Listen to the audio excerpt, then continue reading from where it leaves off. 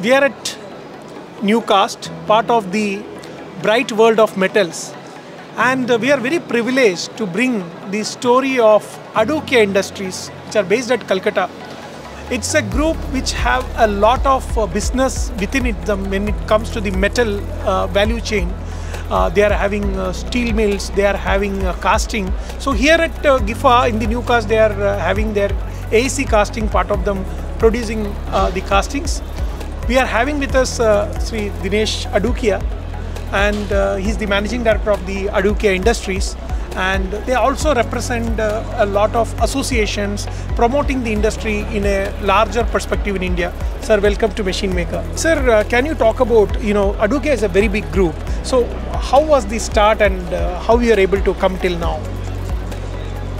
Well, Adukia group was established by, by my father in 1971. He started by trading, then he switched over to processing of scrap. In the year 1994, first we took over this casting unit, which was dead unit. So we revived that unit in almost four or five years. Started with motor body and uh, gearbox and textile machines for Texmaco, for GEC electric motor and for premium uh, made gearboxes.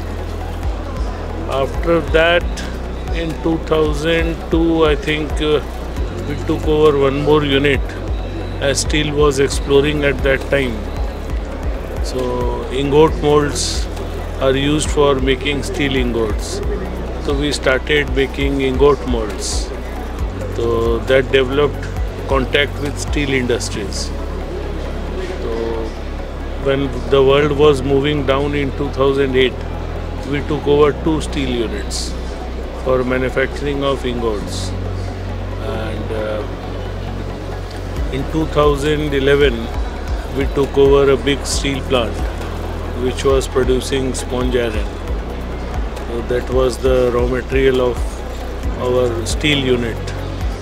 So after that we integrated that plant by adding power plant, rolling mill, everything. So now we are almost 1 million ton steel making capacity in West Bengal. And now we are putting up a pellet plant also, 1 million. So now since the third generation has come out, they suggested me this is the fourth time that I am coming in uh, GIFA and uh, foundry and casting is in my blood because I have made by working on the floor. The kids insisted me to exhibit. I told them, okay, I am going, you also do something. So now we are getting good response and we are setting up a new foundry also.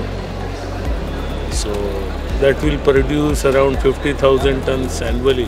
Having so much of experience, It's looked like a dream journey, you know, the way you are talking from a scrap unit, from there taking, reviving a dead uh, casting industry and coming all these things.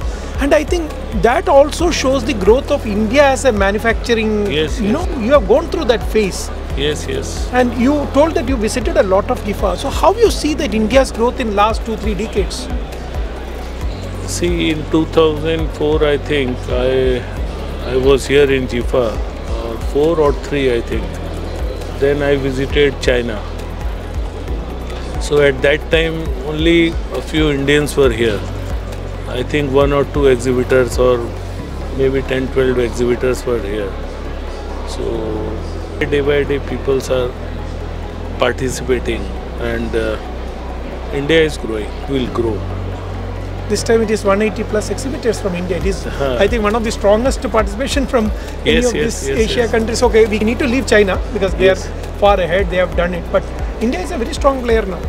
Yes, India is a very strong player now uh, because, as you have seen in COVID time, all the world is looking towards India. They are willing to coming out from China base of manufacturing. So we have a very good opportunity now. And Modi ji is there to inspire. Sir, uh, as I am seeing that when it comes to the metal value chain, metal processing, you play a very large role, be it producing the raw material or processing the metal. So, where you see India as well as Adukia the contribution in the future of India's uh, manufacturing? See, now what we have done is uh, we have planned to not to expand too much, but make quality steel that can be exported to all over the world. Because we are now establishing, we are going out of induction furnace, we are changing towards electric arc furnace. So, quality will be in demand and we can only be uh, our global presence will only be there if we produce quality Adoption of technology And, is yes crucial. yes yes yes And I think in, people are looking at India as a country also. I think this is the time we should invest in technology and give the right quality. yes yes yes yes now we can afford to earlier indians could not afford because of good demand of indian product and indians are producing good quality steel as well as casting so now we can afford and we should invest in technology I was uh, having a discussion during the Hanover Messe with uh, Dr. Jairam Varadaraj of ELGi.